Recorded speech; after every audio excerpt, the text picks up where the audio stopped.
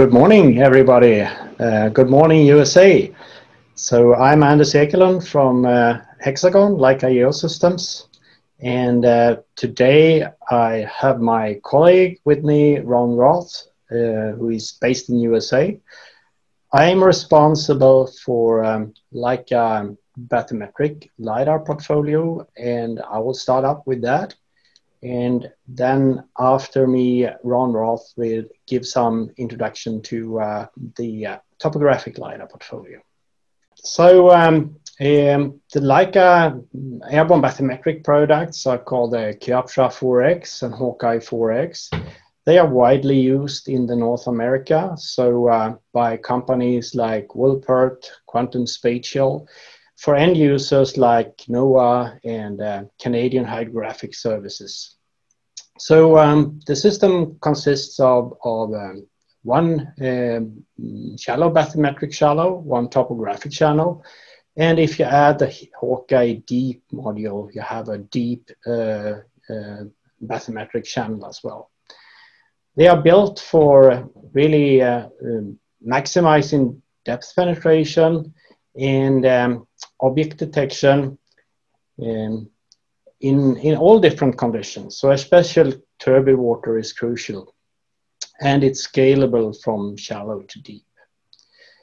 Together with the systems, we also provide the full bathymetric workflow and, and this is very important. Uh, so um, I, I um, sketched some of the important uh, parts here. So uh, LiDAR calibration fully integrated.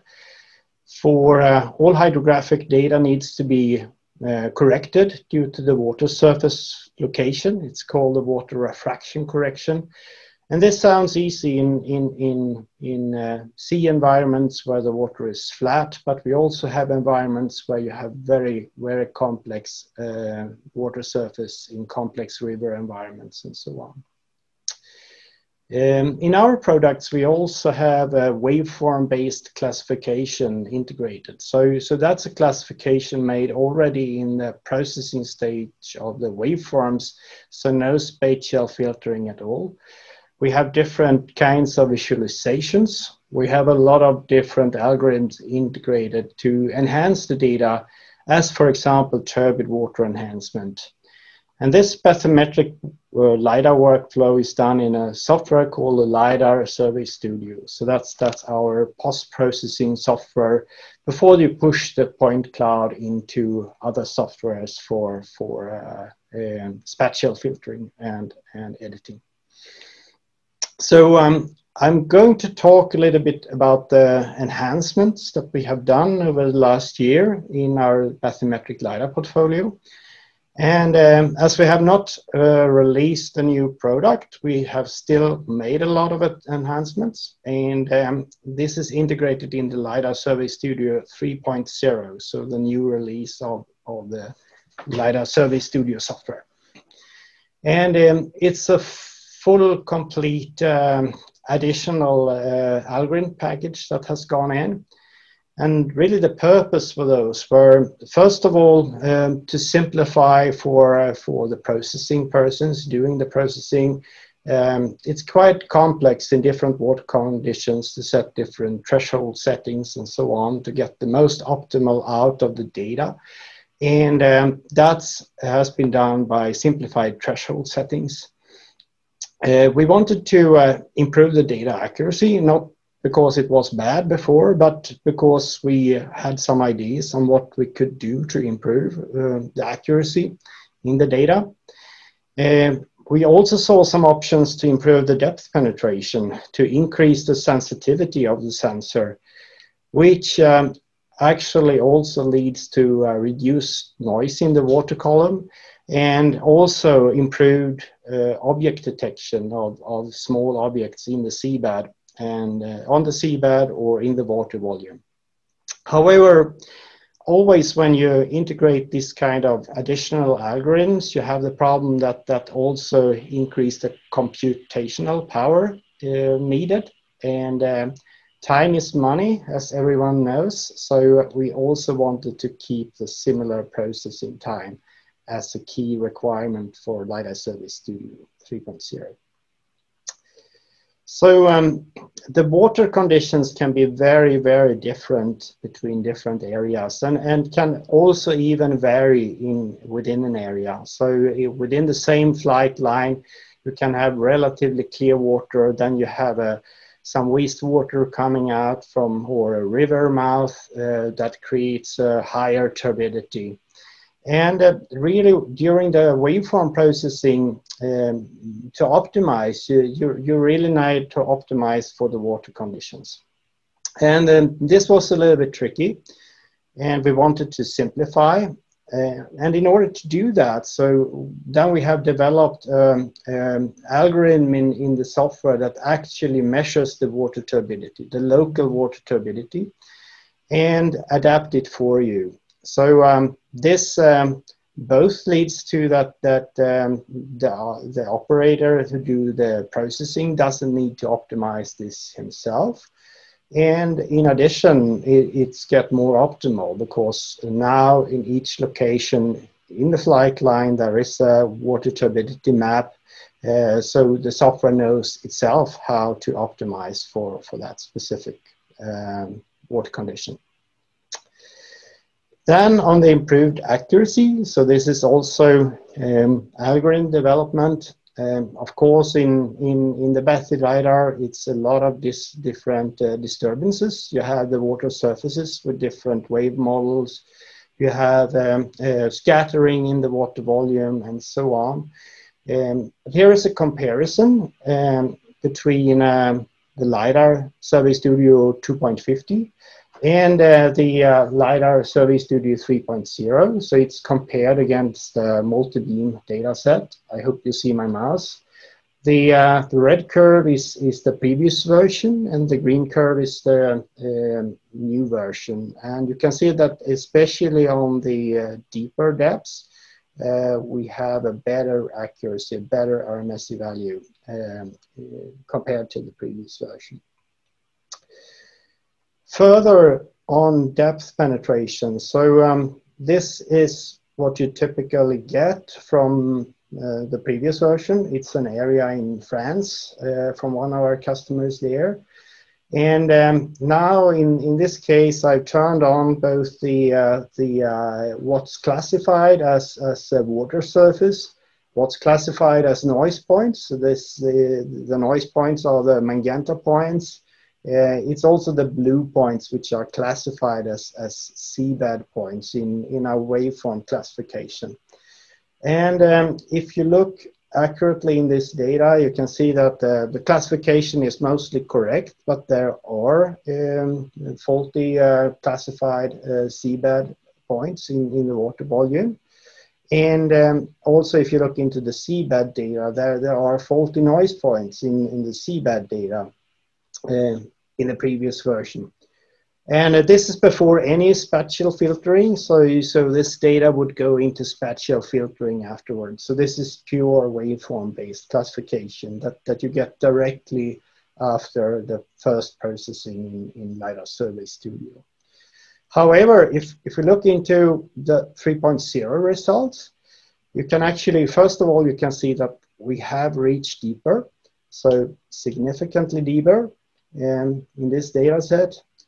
And uh, we also have uh, very few seabed returns that are faulty classified in this area uh, until the maximum depth penetration of the LiDAR. When we turn on the noise points, which are weaker points, we can see that there is actually a bit extra here to extract, and, and uh, many of our customers do that by, by, by spatial filtering in afterwards. Uh, but uh, you have a solid base uh, from from from the first LiDAR class, waveform classification. And it's also significant less faulty classified seabed points in, in, the water volume. And this was really what we wanted to achieve. Um, so what does this make? Uh, this is an example from a, a, demo project in the Stockholm archipelago and you can see it's a quite complex area with a lot of small uh, islands, uh, very rocky, and of course it's also very rocky beneath the water surface. The water conditions are not great here, not extremely bad either, but, but uh, uh, typical for the Baltic Sea. So here is the LSS 2.50 results. And um, you can see if I add the 3.0 results that we, we have received uh, significantly deeper. Um, if you look into um, a two meter grid uh, created from this, uh, you can see that there are actually structures here in the data that, that are not visible in, in, in the 2.50 results. Uh, so uh, this is of course a big benefit. Um, if we look into um, the um, um, Crosscat, you can see that with the previous version in, in this specific area, we reached about 10.3 meters. Uh, with with with uh, the additional uh, with the new software, we we reach about 12.3 here, so about 20 percent increase. I have another um, image here showing the same you can see uh, roughly that that uh, roughly 20% uh, increase in this area. This is a little bit different in different areas, so so we haven't really updated the specifications due to this, but uh, it it has uh, improved in, in, in the depth penetration of the system. Further, um, object detection is is very important in in bathymetric lidar, and um, for objects, it's both important with the size of your object, but also how dark the object is. And this is actually quite interesting area. It's, it's, it's, it's from France where you have some very bright seabed and some very, very dark objects. So, so uh, and dark seabed. So actually, if you look into this data, it, it is a, it is a dark object there. And um, um, in the LSS 2.50 results, you, you, you you can see the points. I, I, think that our customers would not have missed it, but you can also see that there are some some uh, noise points in the water volume that, that can trick you. If you go over to the LSS 3.0 results, you can see that we have a much, much better coverage here on the object. So uh, if you make a comparison, you can see much better detection of the object and uh, uh, noise points in, in the water volume. Yeah. Uh, so uh, we made um, a more bigger test out of this. So uh, this is from our test area in Lake Vättern, Sweden. And uh, the good thing with this test area is that we have a lot of natural stones and boulders on the seafloor, uh, various sizes. So uh, what we did was we did a very accurate multi-beam survey area uh, survey of, of this um, um, survey area. We identified about 100 different objects, uh, so stones and boulders, and they were between half a meter high to about, the highest was about 1.8 meter. And of course, the most of them are, are smaller, so, so it's, it's a higher distribution to the smaller objects. The depths in this area are uh, 0 to 10 meters. Uh, the depth penetration we typically get in this area with the system is about 15 meters. So, so it's about two-thirds of, of, of uh, the um, depth extension of the system. So every of those objects were, were categorized, uh, vectorized um, in a GIS database with height and size and so on. And um, then we can do a comparison between the two different versions. So, um, um, and there are some important figures here. So you can see it was totally 106 objects in this case.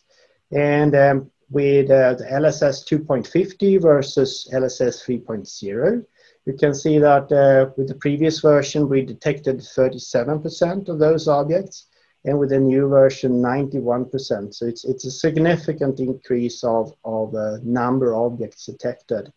And also maybe more importantly is, is that um, um, is a number of returns on the object detected. And uh, there you can see that in, in the previous version in the objects detected, it was uh, quite a bit of them that, that was only detected by one, two or three returns. But now due to the increased sensitivity of the system and, and and the scattering, we, we actually detect all of the objects detected had more than four, four returns. And this, this makes it more, um, solid in, in, in the um, spatial filtering that is going on in afterwards, yeah, not to delete the objects that actually are detected. Uh, you can also see here that uh, we have object detected by depth. Of course, the objects on the deepest are most difficult to detect, and object by size, and also here, um, of course, the, the larger objects, the easier it is to detect them. Finally, on processing time, so uh, this is um, a, graph uh, over the different uh, processing times for different types of computers. We had a 2019 recommendation, um, including batch processing, so that was released last year. And we have a recommendation of 2020 if you look into this figure, so first of all, you can't do the processing on any laptop anymore. I mean, that's that's just taking far too much time. Uh, so this is processing hour versus uh, hours online. So basically, if you fly one second, it would take 23 seconds to to uh, to uh, process. Here, it's about three seconds for for the same um, on this batch processing. If you look here between 3 and 1.3, that's actually improvements of, of, of algorithms. So, so uh, that's kind of the same algorithms running, but, but more efficiently. And then when we add new algorithms, we are up to 2.6 hours here. And um, uh, same for the new. So, so about same processing time as before, but with all the improvements integrated. So with that, I say thanks for myself. I hand over to my colleague Ron to say a few words about the Topo LiDAR. All right, thank you, Anders. And I'll share my screen now. what I'll do now is to give you just a really quick update on uh, where we are with our current City Mapper and Terrain Mapper products, as well as to provide a kind of preview of coming attractions. So with that, We've been uh, developing these oblique camera systems like our City Mapper for a number of years now, and the latest version is the City Mapper 2 which takes advantage of our new MFC 150 camera heads, uh, 650 megapixel camera heads in this same device, as well as a full function LiDAR uh, derived from our Terrain Mapper product. So with the City Mapper 2, what we designed was a system designed for high resolution images targeted at a five centimeter GSD uh, with a flexibility of flying at a number of different flying heights. We have two configurations, a standard altitude and a high altitude.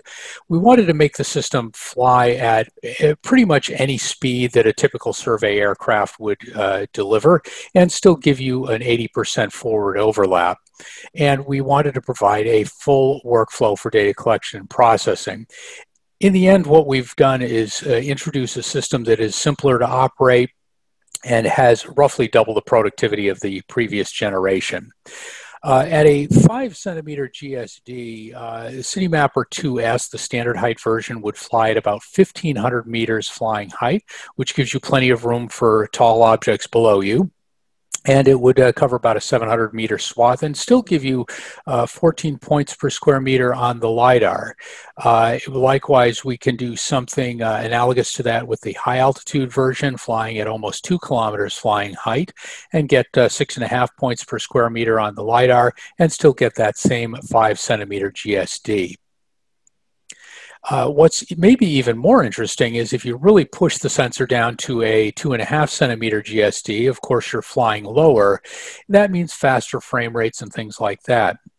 And uh, what's possible with the new Citymapper 2 is to be able to acquire this two and a half centimeter data at, uh, at these uh, normal survey aircraft speeds of 120 knots and still get an 80% forward overlap where our prior generations of systems you might have to fly in a helicopter to get that kind of forward overlap. So really increases the flexibility of the system. And what this allows us to do is to essentially use Citymapper 2 in a greater variety of applications, including uh, both uh, typical city profiling, city modeling applications, which is the, the bread and butter of uh, these oblique imaging systems, but also to do linear projects like power lines, roads, or railways, or even uh, traditional regional mapping projects as you might do with, uh, uh, with a typical LiDAR system. So it's really uh, a multi-use system. What this takes advantage of is our new compact camera models, uh, modules, the MFC 150s. Uh, these are 150 megapixel uh, camera, uh, very high dynamic range, fine pixel pitch, and a uh, high resolution uh, A to D converter. And we can operate six of these at a, a frame interval of as small as about nine tenths of a second. And this is what allows you to fly at normal survey aircraft speeds and still get an 80% forward overlap. Uh, we can do shutter speeds up to a thousandth of a second, but really that's not the important part. Um, you uh, need to be able to operate at lower uh, uh uh, shutter speeds, uh, slower shutter speeds, when you have less optimal lighting conditions. And that's where a key feature of the MFC 150 comes in, that of forward motion compensation. Uh, of course, the system is designed to operate with a very long lifetime for its uh, shutter and forward motion compensation mechanics uh, and operates over a wide temperature range. And we use lenses that are specially coated. Uh, all the optical coatings are optimized for either RGB or near IR, depending on the camera head. So let's take a look at a couple of quick images from uh, the Citymapper 2. In the yellow box that you see down in the lower part of the screen, uh, this is all taken from a flight at about 700 meters above terrain, two and a half centimeter nominal uh, GSD at nadir. This is fairly low sun angle uh, imagery. And if we zoom in on what's in the yellow box, uh, well, we're not quite violating any general data privacy regulations, but we're getting close. Uh, and you can see the level of detail that's uh, in this image, even in the shadowed areas. Uh, likewise, as I mentioned, forward motion compensation is really important, especially when you have these suboptimal uh, solar illumination angles, uh, low lighting conditions, uh, the example on the left here shows a five centimeter image acquired with the uh, forward motion compensation. Uh, and on the right hand side of the uh, picture, you see the, the very next frame taken without the FMC engaged. And you can see the level of blurring that you get if you don't have a forward motion compensation. Now, I could have flown this with two or three times the shutter speed, you know, really uh, stop down the system, uh, but then that would result in dark and noisy images. So uh, FMC is really a very important feature of these systems. And what this allows us to do is to acquire a high resolution image uh, from uh, both nadir and oblique sensors with good color saturation and low noise like you see in this image here. Uh, the Citymapper 2 system is uh, simplified. It no longer has an external data logger or controller, which eliminates about a half a dozen cables. Uh, it makes the system very uh, simple to install. And because it has a LiDAR system built in, you can accomplish more than you can accomplish with just a camera. Uh, and even in city mapping applications where you think, oh, the oblique camera is going to cover everything, you can get a significant improvement by adding LiDAR. And you can see that in these left and right images here. The left image is a uh, mesh model created just from oblique imagery. And you can see in the circled areas, there's kind of some fuzzy uh, areas with loss of definition. But when you add back the LiDAR data and augment the mesh with that, you recover some terrific uh, data that has been buried in areas in between the buildings would have been very hard to recover with uh, any kind of purely imaging solution. So that's City Mapper 2 where we are today. um, Terrain Mapper uh, continues on its uh, previous journey and we've uh, had a year of continual developments.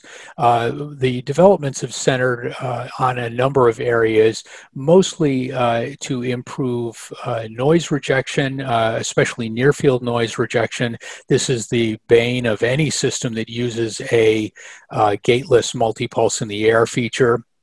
Uh, as all of today's uh, modern LiDAR systems have. Uh, but we also have reduced uh, noise through a combination of software and hardware improvements, developed uh, additional tools for measuring things like surface smoothness, uh, and added those to our array of software products for development of this data. We also continue to uh, add to our library of best practices for our uh, users so that they know the best system settings to use for any given type of mission. Uh, a few parting thoughts about Terrain Mapper. Um, one of the unique features of Terrain Mapper is the constant point density mode. Uh, up at the top of the screen here, you see a, uh, a typical density plot of a sinusoidal type uh, uh, scan pattern, and you get that kind of natural increase in density at the edges of the field of view. With our constant density mode, we can give a kind of an even point density across the entire swath.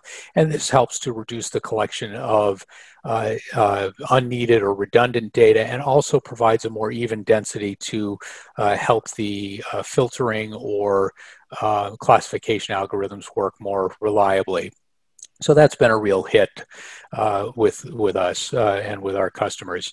So what's next for Terrain Mapper? Well, the next thing for Terrain Mapper is to do with it uh, what the market has expected us to do all along. Uh, ever since the introduction of City Mapper 2 uh, last fall.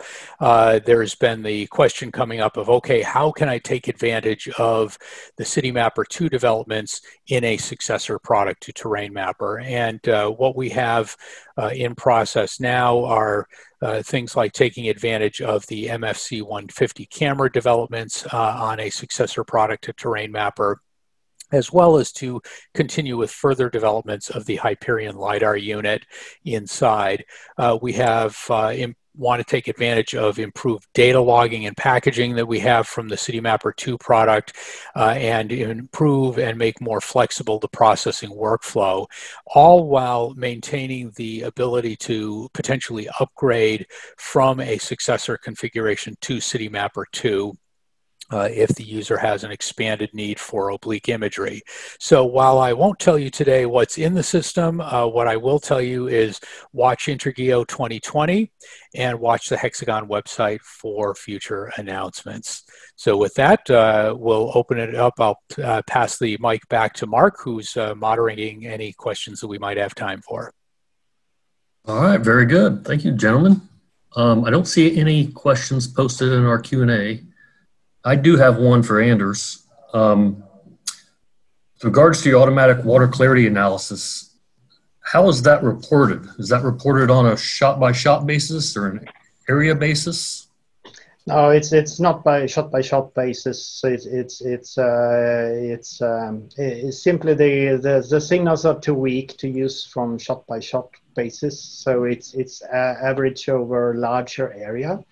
Um, but but uh, still, it it uh, the water clarity does normally not change that rapidly either. So so it's it's uh, uh you know if if if you look on 10 meters or 20 meters, you definitely see shifts in in the water clarity. So it's, it's do, do you uh, have a, a way to output that uh, currently not actually, but that's actually uh, absolutely something that we are considering to do because we think that the customers might be uh, interested in that data as well.